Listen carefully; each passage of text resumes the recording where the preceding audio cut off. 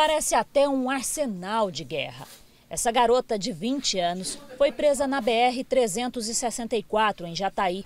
Ela era passageira de um ônibus e estava com 750 munições de fuzil. Na mesma rodovia, a polícia chegou a esta carreta carregada com 45 metros cúbicos de madeira ilegal. Já em Guapó, na BR-060, um homem de 33 anos foi preso. Ele viajava sozinho quando foi parado por uma equipe da Polícia Rodoviária Federal. Ficou bastante nervoso quando os policiais pediram para conferir a documentação do veículo. Os policiais fizeram uma vistoria na carroceria da caminhonete e lá encontraram armas, drogas, mais munições. Todo o carregamento veio do Paraguai. Eram seis fuzis 12 pistolas, 72 munições, 8 quilos de pasta base de cocaína.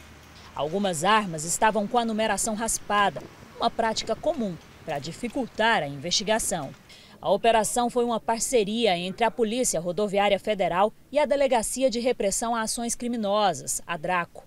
Foram três dias de trabalho intenso para prender 35 pessoas, 2.397 munições, 27 armas 160 quilos de drogas, apreender 17 veículos e 45 metros cúbicos de madeira ilegal. Uma mesma facção, ela pode, ao mesmo tempo, praticar o roubo de carga, ela pode praticar o tráfico de drogas, o comércio ilegal de armas de fogo e munições. E nesse caso que nós vimos aí da, das madeiras também, aquilo que, que traz lucro facilmente para a organização criminosa, eles adotam como conduta é, comercial delitiva. Coibir tantos crimes de uma só vez foi graças a outras investigações que já estavam em andamento. Tanto com a Decar, agora com a Draco, a gente já tem uma parceria longa e desse trabalho resultou essas ações que vão decorrer em outras ações, né? E então esse trabalho proporcionou essa ação agora neste momento que nós conseguimos aí um resultado expressivo, né? Muito bom é, nesses três dias de, de ação aí e que daqui agora para frente, com esse trabalho dos desdobramentos aqui, nós teremos novas ações, sempre primando por essa parceria com a Polícia Civil no combate ao crime organizado. Essa é a primeira grande operação do ano em que a Draco se une à PRF.